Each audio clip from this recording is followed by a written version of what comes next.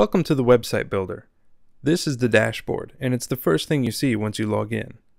If you've just started building your website, you may notice a list of tasks in the What Should I Do Next section. These are designed to get you started in creating your site.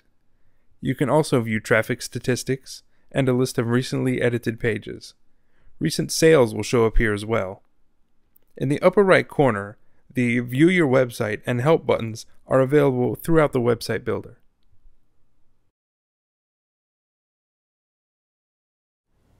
Making new pages is easy. Simply click on the Create menu item from the Pages menu. You can create as many pages as you like, 10 pages at a time. Remember to limit your pages to letters, numbers, and spaces only. If you do use a symbol, such as the AND symbol, it will automatically be converted to the word AND for you.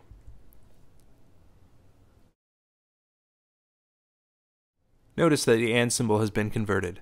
Once you're finished creating your pages, you'll be able to edit them.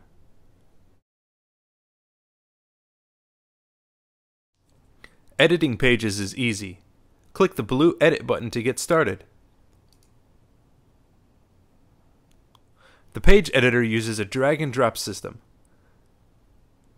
All you need to do is drag one of the items onto the grid, like this. If there are any options, you can change them here. To get rid of an item, just drag the delete object onto that item, and it's gone. Let's try it with the text editor.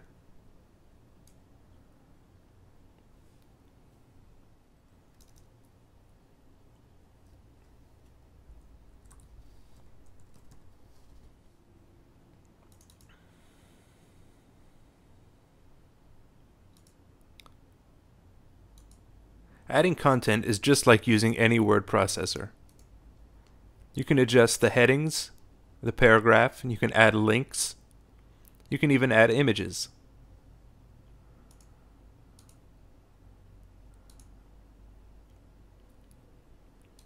The Images menu gives you lots of options to play with.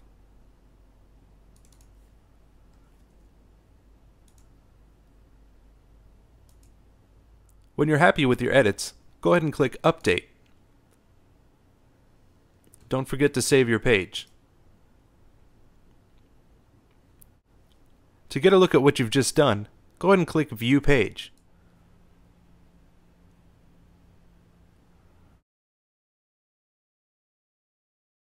Uploading files is done through Files and Images located in the main menu.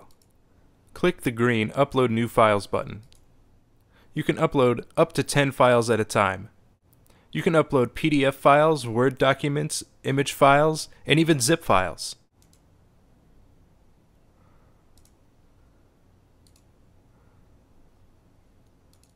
Once you've uploaded your file, you can find it by clicking the appropriate category.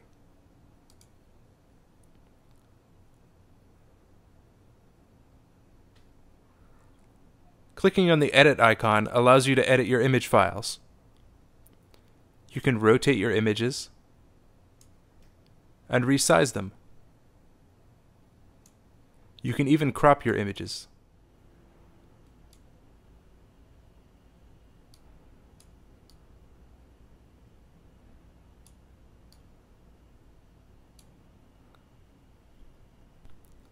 When you're finished, click Preview Changes. If you're satisfied, go ahead and click Save.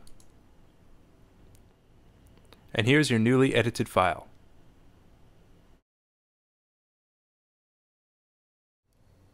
You can access your templates and template settings under the Global Settings menu. To get a list of the templates available, click the drop-down menu.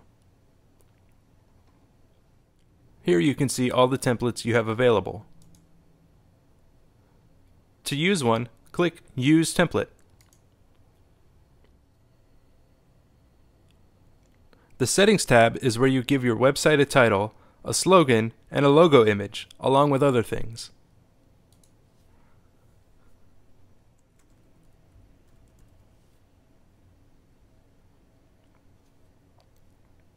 Don't forget to click Save after you edit each section.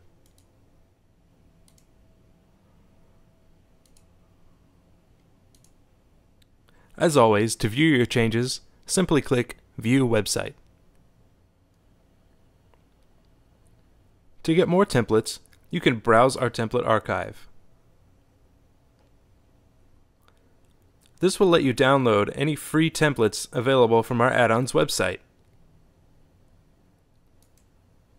You can preview the template on your website and then install the template. Menu navigation settings are accessed through the Pages menu.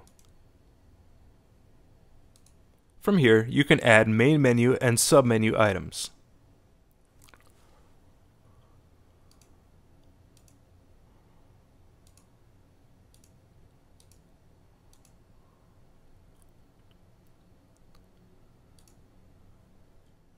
Add a custom menu link by giving it some display text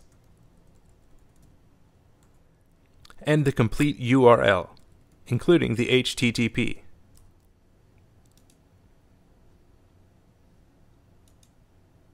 Your new link is available under Available Pages. Don't forget to click Save Menu System. And here's our new menu system, complete with submenu item.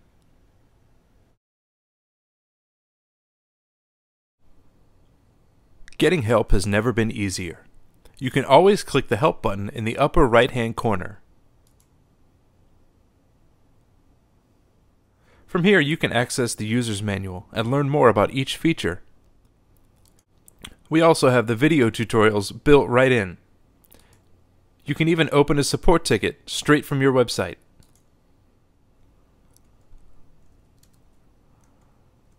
The Help button is always available, no matter where you are. You can also contact us directly from our homepage. We also offer free live training